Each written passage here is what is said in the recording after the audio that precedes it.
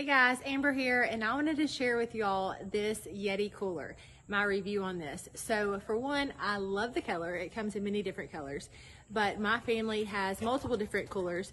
This is one of our favorite. The reason why is the size is just big enough to carry what you need, but not, it's not huge. Um, it also is something that you are able to actually carry and not be too heavy. Um, it has two of the little things on here that you can, um, to be able to close the cooler. This right here ooh, allows you to move this down to where you can open it up very easily. You can see inside, it has a lot of storage here. Super easy to clean out. Literally, you can just get a water hose and just spray it out. But love this cooler.